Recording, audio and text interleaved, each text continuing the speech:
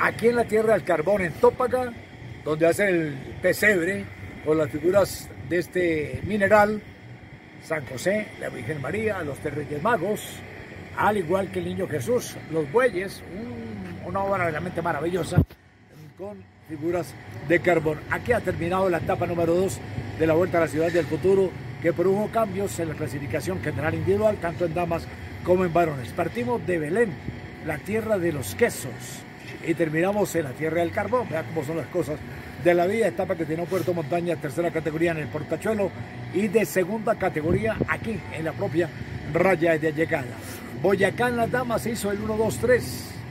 La periodista Juanita Salcedo ganó la etapa y queda líder.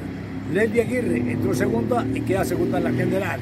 Y tercera, Estefaní Diagama, también de Boyacá, que el equipo que ahorita Víctor Becerra, entró tercera y queda tercera en la clasificación general individual.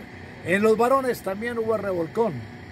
Haider Benavides, un corredor de Ampor de Cundinamarca, ganó la etapa muy apretadamente sobre dos chicos de Caná por casa de la ciudad del profesor. Aparecieron Martín Herreño, que es líder de la montaña, entró segundo y tercero ahí pegadito Santiago Cruz.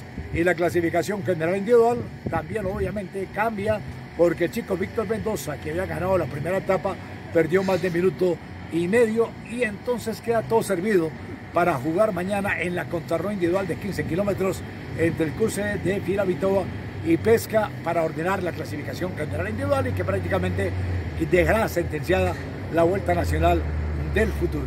Bonita carrera, bonito espectáculo y aquí asistimos al nacimiento de las nuevas estrellas de nuestro pedalismo. Desde Tópaga, con la cámara de Gustavo Rojas, la Tierra del Carbón, Jairo Enrique Rodríguez, Canal de Escarabajo, Ciclismo Sin Límites. Un abrazo para todos y que Dios, que Dios los bendiga.